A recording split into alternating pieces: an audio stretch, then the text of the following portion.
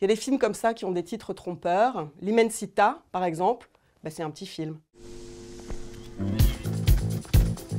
Strano.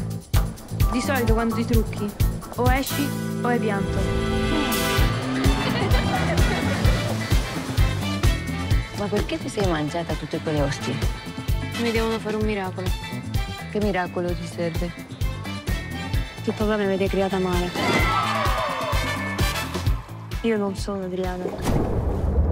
Est une chronique familiale dans la Rome de- des années 70. Une Rome euh, un petit peu des faubourgs, en plein développement économique. Une bonne partie de l'action se passe dans un immeuble qui se, assez chic, qui se construit en vraiment lisière d'un d'un terrain vague dans lequel vivent des, euh, vivent des gitans. Et donc le film joue beaucoup sur ce, cet élément de décor entre la richesse d'un côté et la précarité de l'autre. C'est vraiment l'accession à, un rêve bourgeois et c'est matérialisé dans le film par une espèce de forêt de bambou qui sépare les travailleurs pauvres euh, des euh, bourgeois qui s'installent dans ces, immeubles neufs.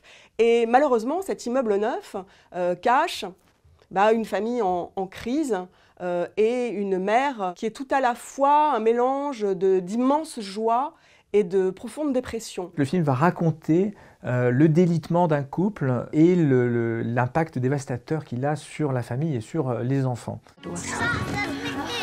Siete voi che fate preoccupare mamma. Ha detto di no! Quella ragazzina vuole essere un maschio. Tu non sei neanche capace di educarla, quella ragazzina. Ma tu e papà vi volete bene?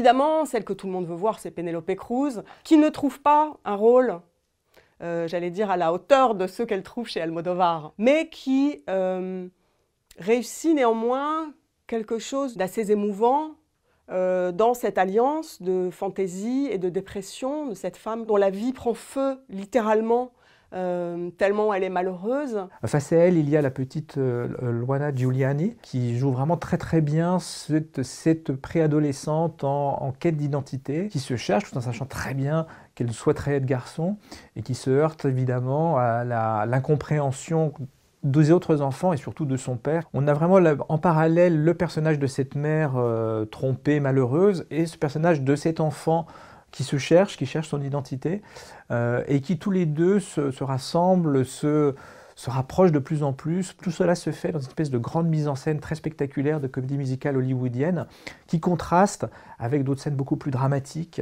euh, dans le huis clos familial euh, où, règne la violence.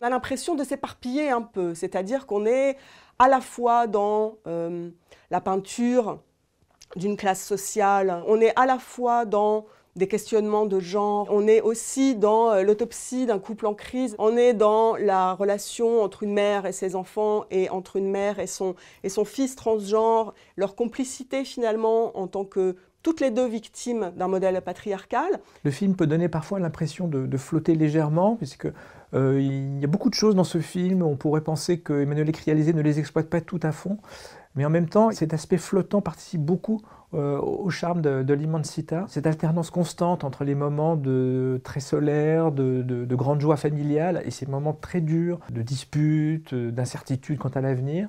Euh, et le film fonctionne vraiment très très bien dans, cette ambivalence, magnifiquement interprétée par, euh, par ses comédiens. Il y a beaucoup de pistes, beaucoup d'ébauches, de choses, et on a l'impression que le film est tout petit, il va jamais au bout de rien et dément constamment euh, ce titre qui proclame euh, l'immensité, quoi. Voilà.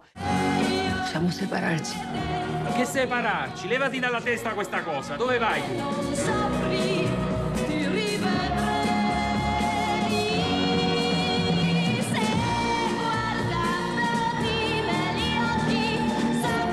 Ma è più importante quello che abbiamo dentro o quello che abbiamo fuori? Adri. También bacho, Adri.